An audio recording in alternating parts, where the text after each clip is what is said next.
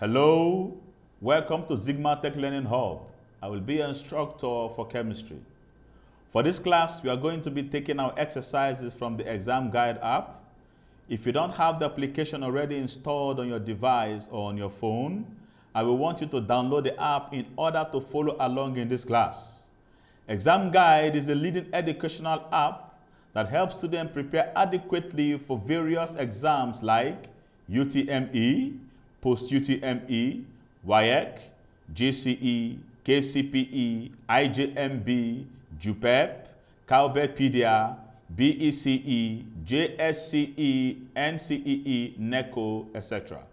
You can download the app from www.examguide.com or Google Play Store.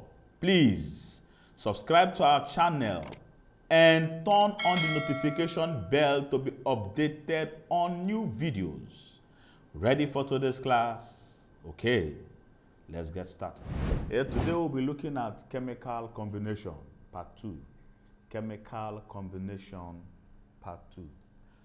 Now, I already told you that uh, why this uh, chemical combination have been achieved is because it is used in providing us a compound.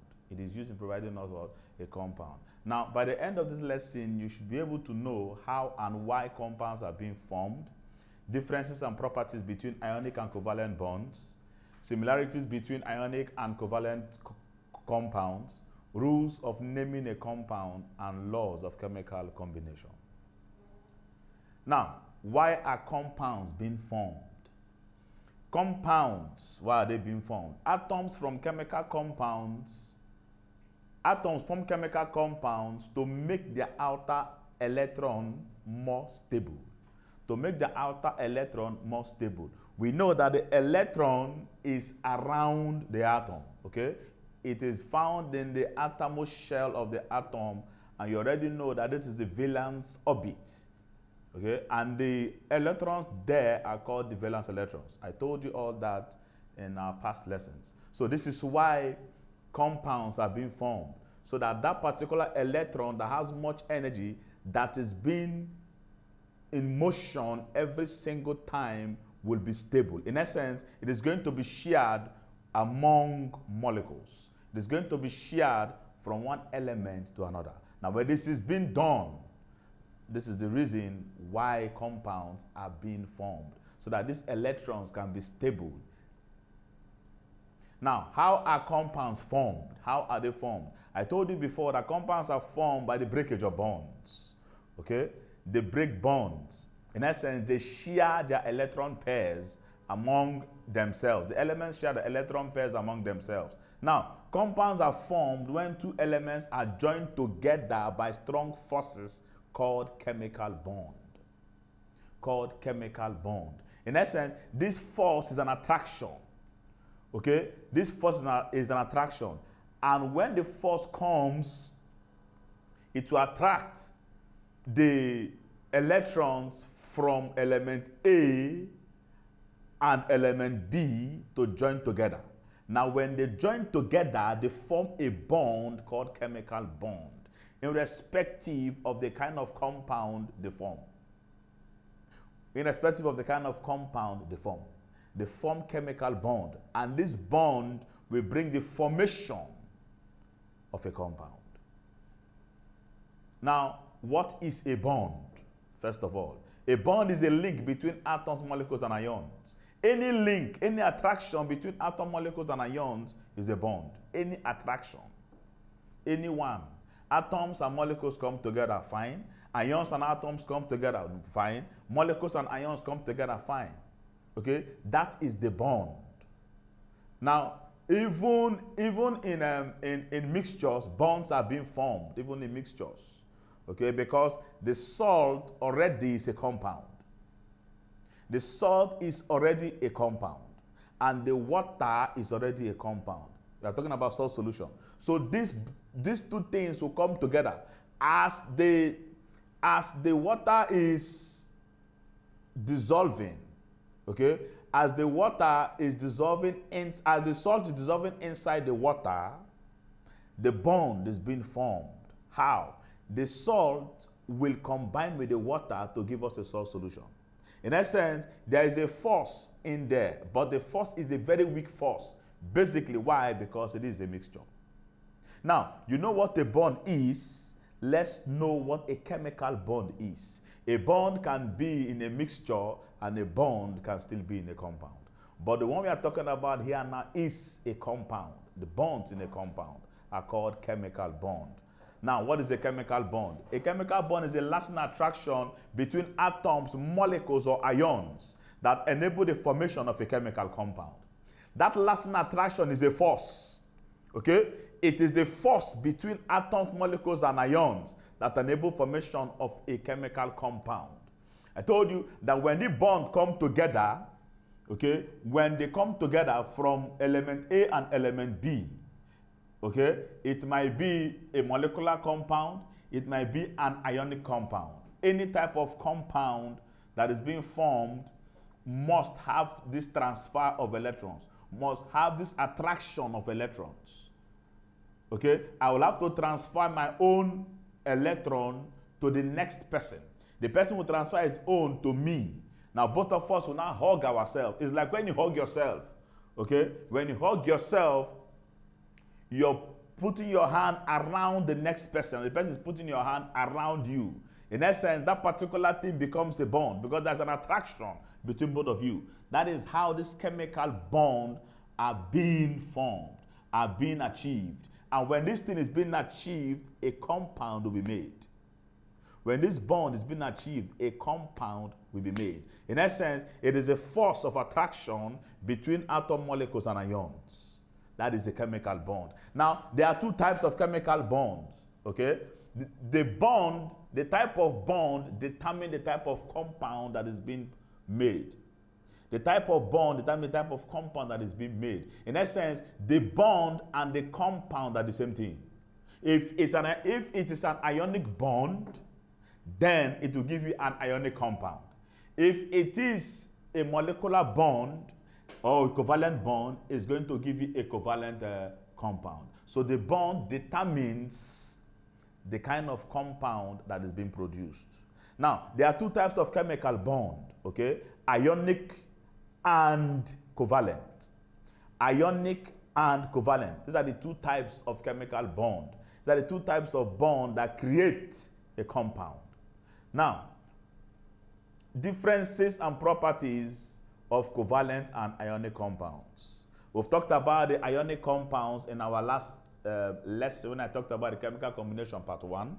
So already you know what an ionic bond is, okay? You, and you know what a covalent bond is already.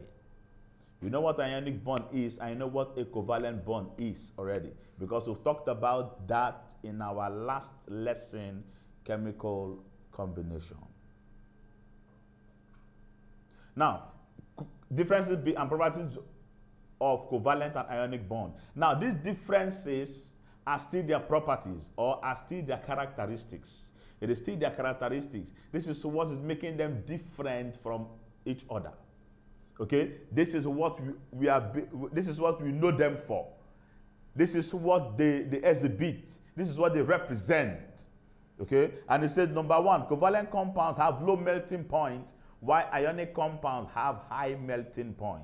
Now, the covalent compounds, we already know that covalent compounds are still called the molecular compounds. We know that it is the transfer of molecules, you know, it is transfer of electrons from one molecule to another. So the covalent compounds have low melting point.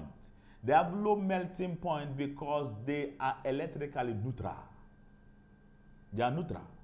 In essence, they cannot have a high melting point because they're electrically neutral. Why the ionic compounds have high melting point because they are charged bodies.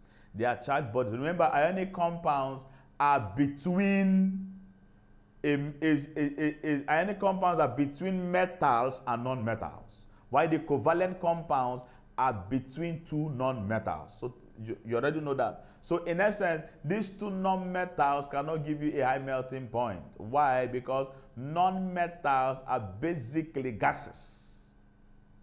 Most of them are gases, except otherwise. Okay? Most of them are gases except uh, otherwise. Like mercury, mercury is, is a liquid at room temperature.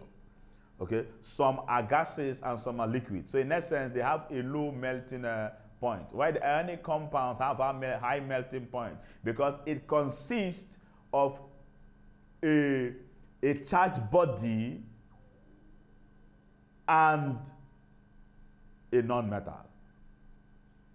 Ionic compounds we know are consist of a charged body. In essence, they are being positive the ionic compounds are between metals and non-metals. These metals are positive. You know that. Why the non-metals are negative. In essence, they give us a compound that is ionic. So their high, so, uh, so their melting point is going to be high because of that positivity in the ionic compound. Now, covalent compounds have low boiling point, whereas the ionic compounds have high boiling point. But before then, ionic compounds are being characterized by the melting point. Ionic compounds are being known by the melting point because they have high melting point. Everything about them is high. Everything about them is high because of the charges. Because of the charges. Now, covalent compounds have low boiling point. Yes, they have very, a very low boiling point because they are electrically neutral, like I said. They are electrically neutral. So their boiling will not be high as that of the ionic compounds. Compounds that are covalent have low polarity, while compounds that are ionic have high uh, polarity. I told you what polarity is. Okay, the transfer of electric charges from one atom to another. Already you know that. So the, their transfer of electric charges is high, is very high. Let's take, for example, sodium chloride. Sodium is a positive charged and chlorine is a negative charge. In essence, their transfer will be very high. Why? Because there is a force of attraction. There's a force of attraction. The positive and the negative have been attracted together. So in essence, that polarity, that electric, that electric conductivity will become very high. Why in covalent compounds it is not there? Because both of them are negative. So there is no attraction. Why? Because they are like terms.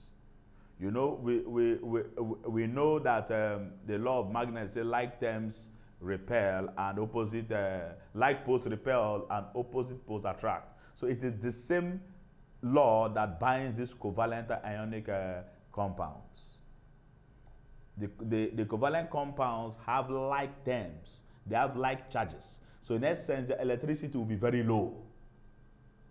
Why the ionic compounds have high charges, uh, opposite charges, so the electricity conduction will be very high.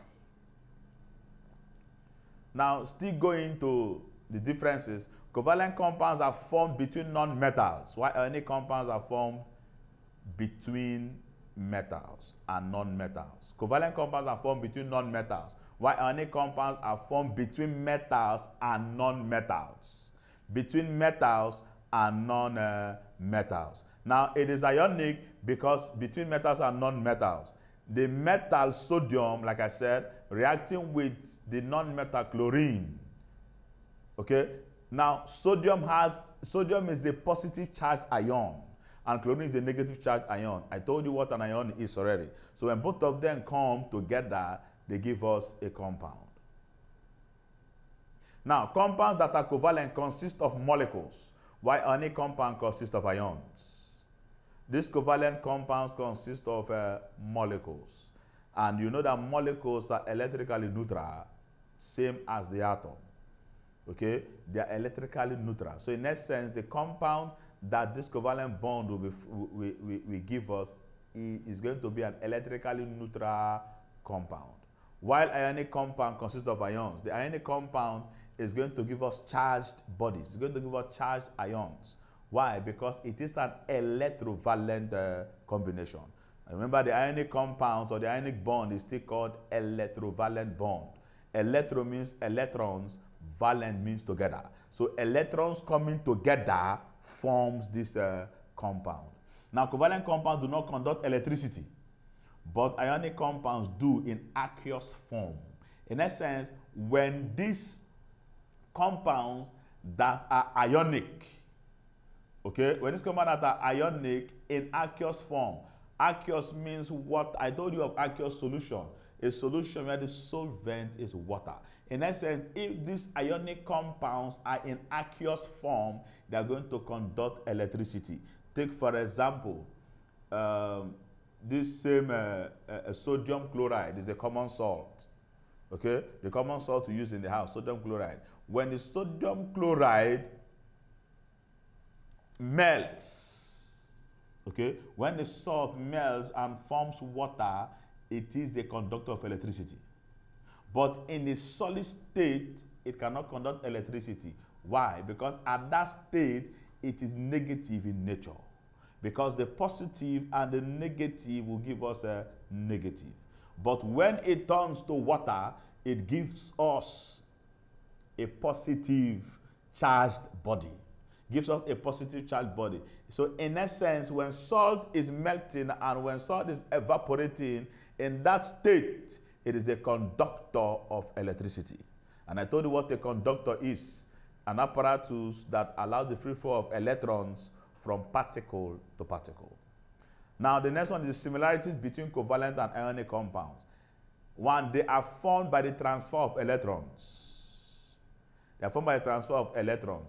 You, you saw why you saw why compounds are being formed so that the electrons will be stable. Okay, so this particular uh, compound, both of them are formed by transfer of electrons. I told you that when compounds are formed, there's an exchange of bond. In essence, there's, an there's a breakage of bond. When these bonds are broken, electrons are transferred from one element to another.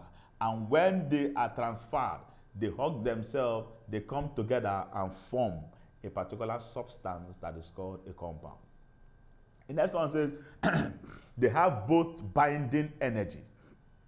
Yes, for force to be achieved, okay, for electrons to be broken, for bonds to be broken, for, for bonds to be broken and electrons to be transferred, there must be an energy. Without energy, there will be no force. So in essence, they are using their molecular energy. They are using their molecular energy in this transfer of electrons. This transfer of electrons. The next one says they both have force of attraction. Yes. The force of attraction is a bond. In essence, they both have bond together. They both have bond. The molecular, uh, uh, the covalent compounds have molecular bond or covalent bond, while the ionic compounds have electrovalent or ionic bond. Now they lead to the creation of a stable molecule. Yes. Both of them leads to the creation of a compound. Both of them leads to the creation of a compound. They lead to the creation of a compound. Take, for example, hydrogen and oxygen. They, they gave us water, a molecule of water, stable. Sodium and chlorine gave us salt, a molecule of salt, stable. So both of them lead to the creation of a stable uh, molecule. Now, the next one we're going to see is the set of rules. There are set of rules that enable us to create a compound. Set of rules that enable us to create a compound. Okay? Set of rules that enable us to name name compounds. Name compounds. It is called chemical nomenclature. It's called chemical nomenclature. It's a set of rules to generate systematic names for chemical compounds. A set of rules that is set, okay, rules that are set to generate systematic names for chemical compounds. I told you that you're going to know how to get uh, uh, names from chemical compounds. How do we derive their names when they give you the formula?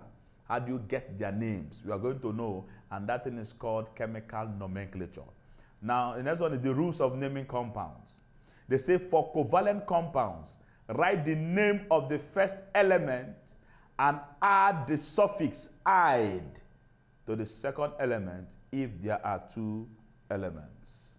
Write the name for, for covalent compounds, write the name of the first element and add the suffix "ide" to the second element if there are two elements. Now, let's take for example, um,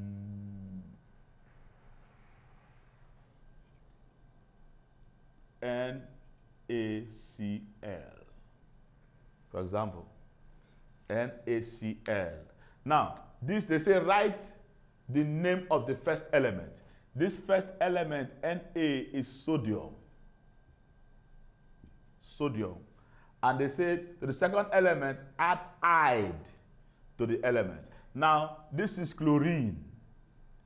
The second one is chlorine. Second one is a uh, chlorine. In essence, this element is supposed to be called sodium chlorine. But the law, according to IUPAC, IUPAC is the International Union, International Union of Pure and Applied Chemistry. International Union of Pure and Applied Chemistry gave us the rule on how to name uh, compounds. Now, this name is supposed to call sodium chlorine, but the law says you should add ide to the second element. In essence, you're going to remove the in and add the what? Ide. You're going to remove the in and add the ide.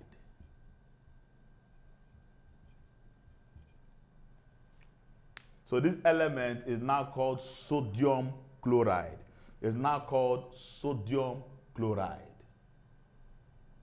Let's take another one. I want to bring one name that is somehow water. water. Water. We know that water has water has we okay this is the formula for water this is formula for water okay now H subscript 2O, formula for water. Now, they said you should add I to the second element. Write down the name of the first element. Now, if you check the first element, the first element has a number of atoms represented. The first element has a number of atoms represented. And that number of atoms represented is 2. And according to the rule, you must have to add the name of the subscript to the element. You must have to add the subscript of the element. Now, the name of that subscript is di. Di. One is mono, two is di, three is tri, of which we know that according to the Greek word. Now, this water now is two hydrogen. Two hydrogen means dihydrogen. Two hydrogen means dihydrogen. Now, the second element is O, oxygen, and they said you should add ide. In essence, it's going to be oxide. It's going to be oxide. Now, you can still call it water or you call it dihydrogen oxide. Either you call it water or you call it dihydrogen uh, oxide. Now, they said for ionic compounds, the metal element comes first, then add ide to the second metal. For ionic compound, the metal element comes first, then add I to the second. It's the same thing like I gave you as chlorine, as um, sodium chloride. I gave you as sodium chloride, NaCl, the same thing. Sodium chloride, NaCl. This one is sodium. Sodium is a metal, and the chlorine is a non-metal. So you just add ide, and it gives you sodium chloride. This is the rules of how to name compounds is the rules of how to name uh, compounds. For the metal compounds, you just keep the first the, the metal element first and add I to the second because the second element is a non-metal. These ides you're adding are to non-metals. These ides you're adding are to non-metals. Now, there are laws, okay, that binds compounds. There are laws that binds compounds. There are laws that bind compounds. Now, these laws that bind compounds are called the laws of chemical combination.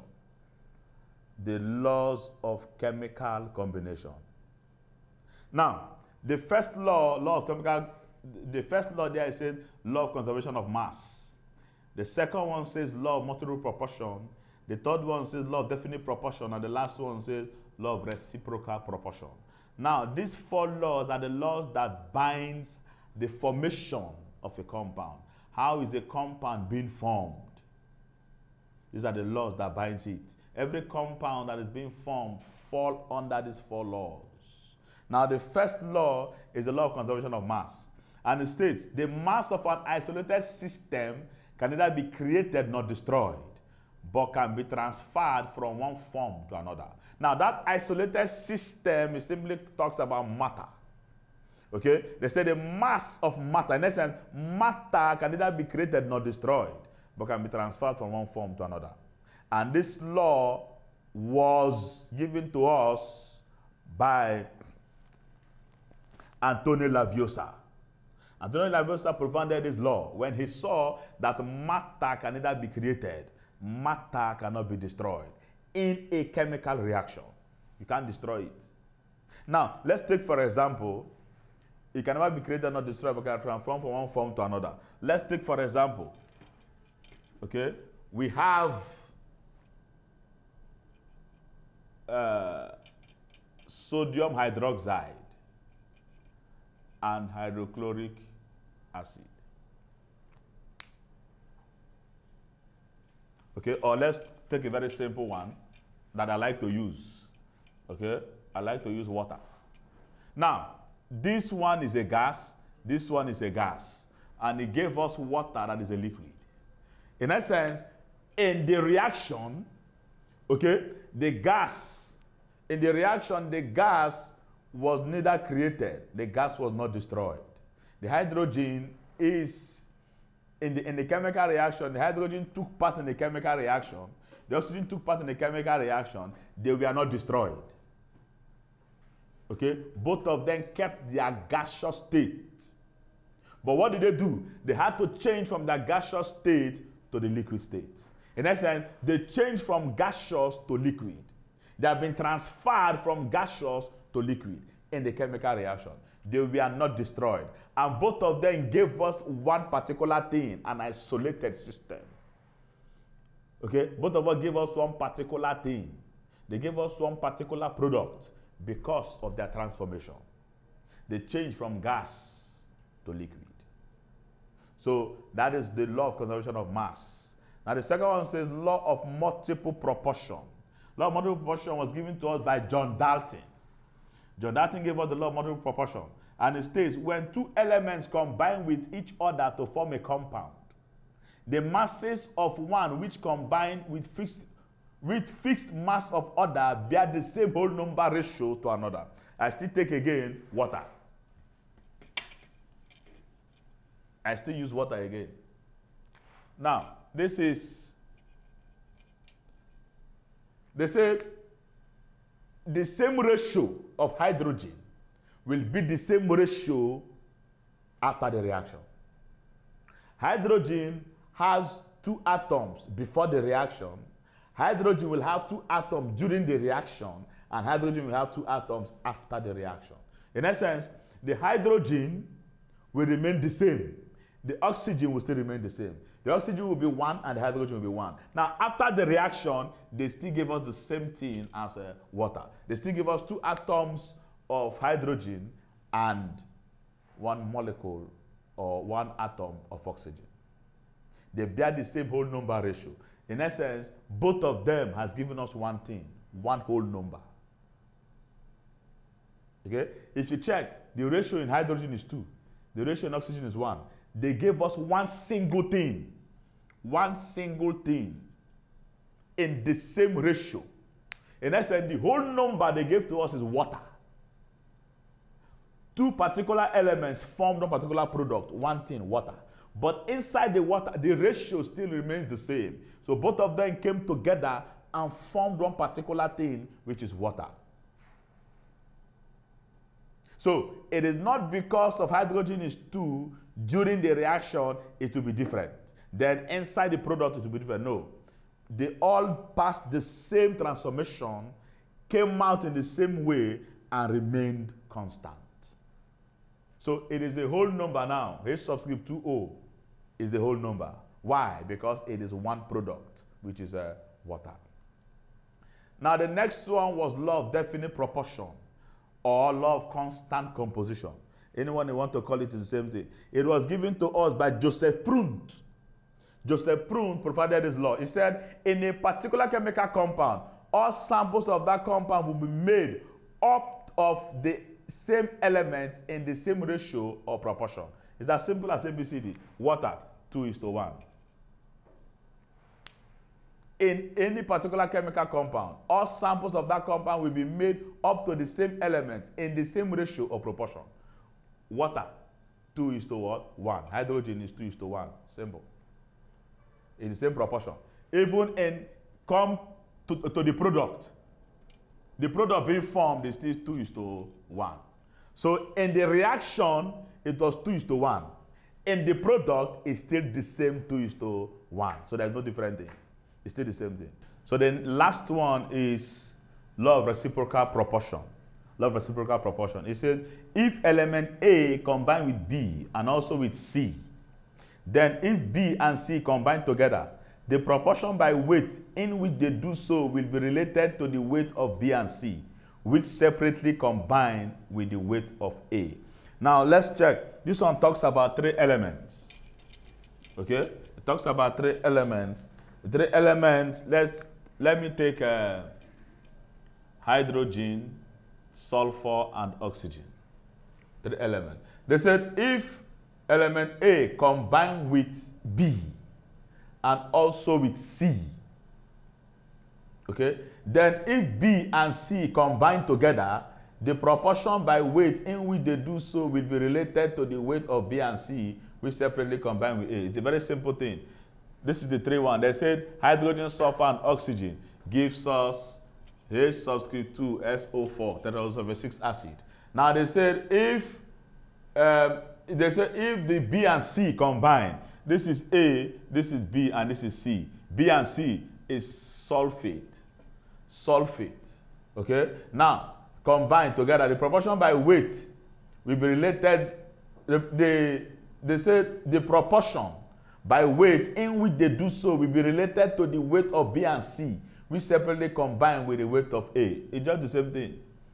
Okay? It, it's the same thing. The simple thing is H reacting with S sub 4 will give us H subscript 2 SO4. So now this is A, this is B, and this is C. Now, the B and C combine together in giving us sulfate. Okay, separately. First of all, the B and C combine together in giving us a uh, sulfate separately. B and C combine together in giving us sulfate separately. Remember, I talked about hydrogen, sulfur, and oxygen. Now, B a, B, and C. Now, B and C combined to give us sulfate first.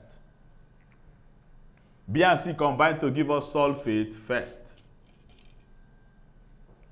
Okay? Now, this particular proportion, adding hydrogen, adding hydrogen, which is A, will give us a H subscript 2, SO subscript 4, will give us H subscript 2 SO4.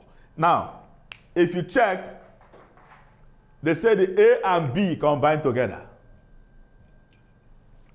The A and B combined together, and the A and B, first of all, gave us a compound, first of all, before adding an element again, which is a hydrogen. Now, adding the hydrogen gives us sulfuric acid or tetraoxosulfuric acid, anyone want to call it. Now, that does not mean that because of both of them, first of all, reacted together, the weight will be different.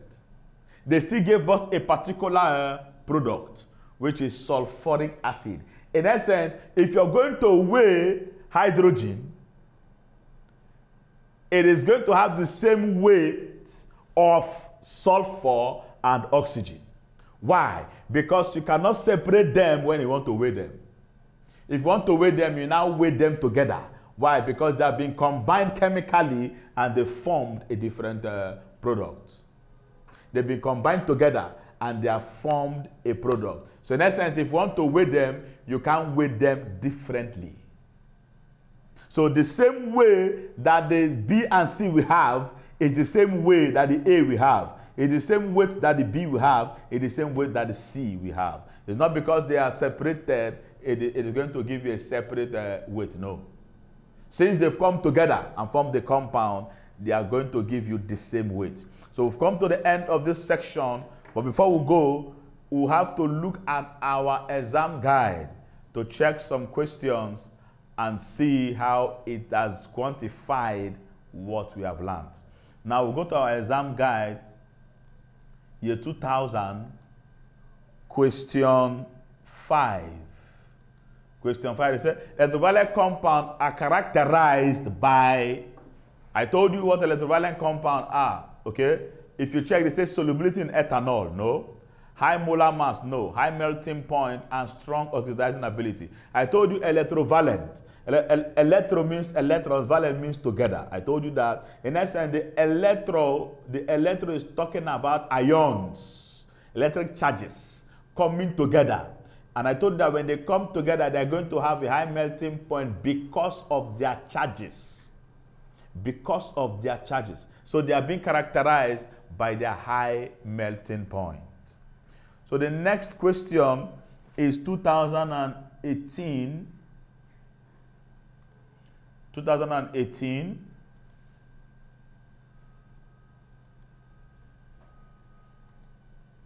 Question 40.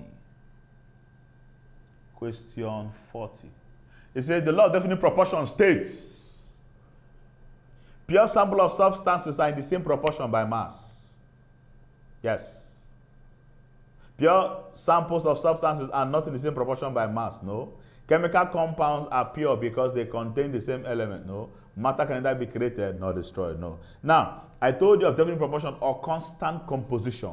I told you that every single element that takes part in this reaction in definite proportion have the same proportion by mass. During the reaction, before the reaction, during the reaction, and even after the reaction. I give an example of water. Okay, water is 2 before the reaction, water is 2 during the reaction, and water is still 2 after the reaction. So they have the same proportion by mass, even after the reaction. The hydrogen and oxygen came together and they will have the same proportion by mass. So the now when they say pure samples, pure samples, I told you of pure substances. Okay, these samples are simply pure substances. You know that compounds and elements are pure substances. So they are talking about compounds.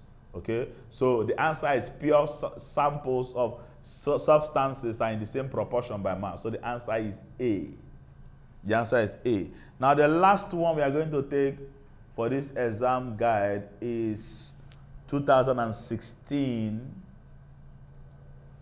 2016 question 16 they said if element X forms the following oxide, the phenomenon illustrates. We just talk about multiple proportion here. Okay, where an element forms three different, where an element forms three compounds. Where an element forms three compounds, multiple, multiple compounds.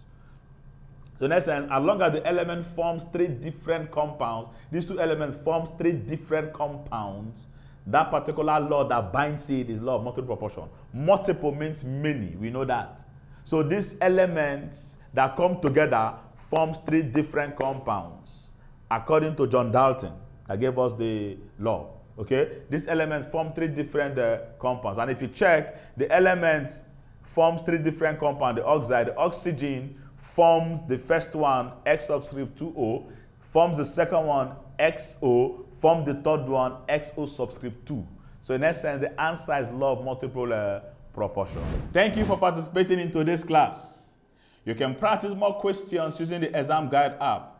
The app scores and gives a detailed explanation of all the questions at the end of your practice test.